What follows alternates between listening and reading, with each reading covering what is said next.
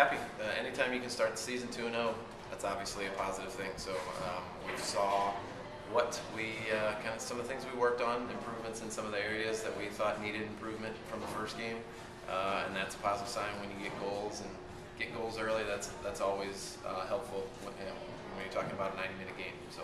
Two straight shutouts. Your back line has been very good, and Claire Lovercheck has been excellent. Yeah, she came up big uh, a couple times early in the game. And uh, at this level, really what you need is a goalkeeper that is going to come up one, two, three times big in a game. That, that can be the difference. You know, if we give up a goal early on, it could be a different story. Uh, and she, and she, got, she helped us for sure.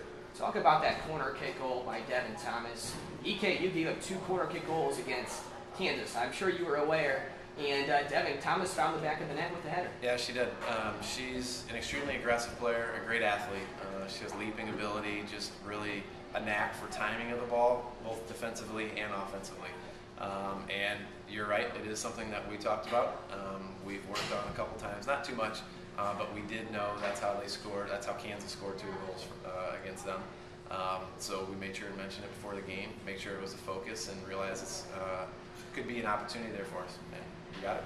And finally, Coach, uh, Scott and I noted during the broadcast numerous times your depth is very, very explosive on this team. A lot of girls can play.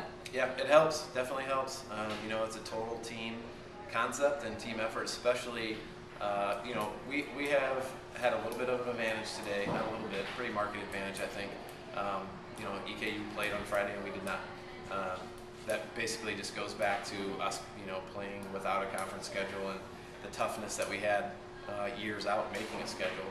Um, so that was an advantage, and so using depth against a team that's coming off a game against a very good team on Friday, um, it should be. So, all right, thanks for the time, Coach. No Congrats once again on the victory. Thank you very much. Two to nothing.